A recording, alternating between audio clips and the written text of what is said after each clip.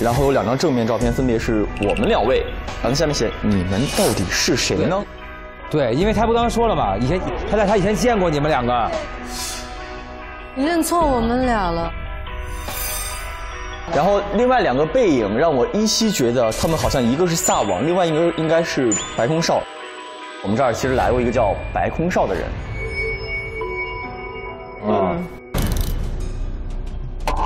白空少的出现，我觉得是肯定是有故事可言的，应该是个心理医生。对的。对。然后他在医务室留下了一个心理综合测试信息登记，然后了解你的心理健康状况。我记得这个是珍宝主让我们每个人都做的。对的，每个人都做了。测试者第一个是大杂，哎，然后说心理健康，外表嘻嘻哈哈，有责任心，但他不是真正的快乐。小智是他的一种保护色。就是他弟弟死了是吧？然后第二个测试者是七仙女。测试结果是心理健康，然后热情奉献，正义感强，但是可惜就给我们吃虫子。不是我，有的是不错了。嗯，然后下一个是欧茉莉，非常简单，心理健康，天真，天真。然后下一个是陈水电，心理健康，只想放假。只想放假，可能我天生放纵不羁，爱自由。嗯嗯，他就是啊。你可能只想放假去春暖花开的地方，放假不羁啊。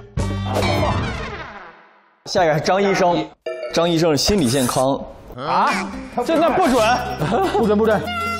张医生心理健康，自信爆棚，沉浸在自己的世界，我觉得很准啊。对呀，他就是沉浸，这句没错。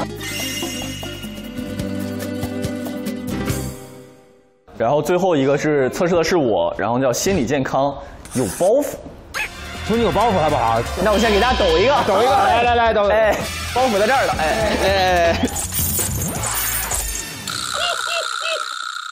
然后找到了张医生户口本，哦，然后说是韩朝六年十二月三日进来的，职务是医生，出入权限是医务室，然后六年和七年两年他是没有任何禁闭记录的。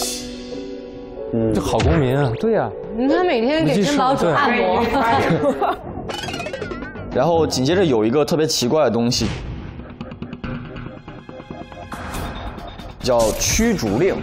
然后它上面写的张医生，因为你已经无法给地堡带来任何价值，现真是地堡正式向你发出驱逐通知，请你于一天后自行打包离开，东西留下。七年一月二十七日，就是已经两三个月前了。